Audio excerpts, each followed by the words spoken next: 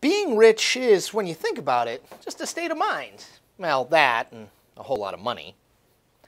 Donald Trump is rich. Now, he may not be $8 billion rich like he says he is, but everyone pretty much agrees he's billions rich, which, as a licensed rich analyst, means you have a lot of money. Trust me, I'm a professional. I'm really rich. I, I never went bankrupt, by the way, as you know, everybody knows. I built an unbelievable, some of the greatest assets in the world, very little debt, tremendous cash flow. Tremendous. Everyone just sort of assumes that people who make a lot of money also pay a lot of money to the government in taxes. And in most cases, they do. If you make more than $500,000 or your family makes more than $600,000, you paid a 37% income tax in 2019, which is a lot of cash. Again, trained rich analyst at work here. But not all wealthy people pay a lot of taxes. In fact, some pay none at all. Quote, we don't pay taxes, only the little people pay taxes hotel owner and businesswoman Leona Helmsley once infamously said. Now, one of those no tax rich people happens to be the current president of the United States. we don't know all of the details of Donald Trump's past tax returns because, well, he's the first major presidential candidate and president to refuse to release any, any of those documents. Trump and his administration have made any number of excuses for why they keep his taxes secret, from the fact that he claims to be under audit, which would make it a really long audit, to the ridiculous notion that people wouldn't understand his returns because they're too complex. I don't think Congress, particularly not this group of congressmen and women, are smart enough to look through the thousands of pages that I would assume that President Trump's taxes will be. All of that is to say this we have no definitive view of Trump's financial life, including how many years he has paid zero in taxes. But there are lots of reasons to believe that Trump hasn't paid personal income taxes for a whole bunch of years. So let's start here. How does one go about not paying taxes. Now, the first way is to not make very much money. If you earn under $12,000 as an individual or $24,000 as a couple, you have a 0% tax rate, meaning you pay nothing. And the second way to do it is Trump's way. Take full advantage of the massive loopholes in the tax code for businesses and, in particular, real estate developers.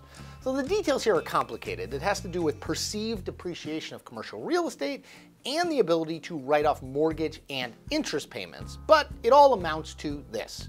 Trump can declare significant revenue losses through his businesses, which in turn would allow him to avoid paying any personal income taxes. The theory is that you don't pay taxes if you make less than $0 in a year. But these losses Trump's declaring aren't real. They exist on paper, but because of the way the real estate industry works, they don't amount to actual financial money losses in the long run. Here's a real life example of how this all works. On Trump's 1995 personal income tax return, which the New York Times got their hands on, Trump declared $916 million in losses. Now, let's say he earned, on average, $50 million in each subsequent year. That would mean that for the next 18, yes, 18 years, Trump wouldn't have had to pay any taxes at all. None. And we know that Trump paid little or no taxes for two years in the late 1970s.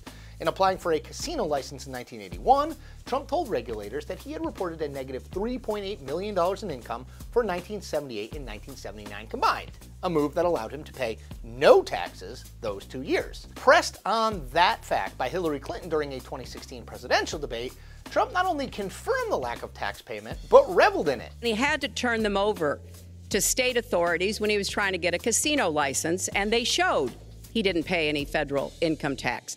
So that makes me smart. Paid- then there's this. The New York Times got a hold of tax return information for Trump from 1985 through 1994.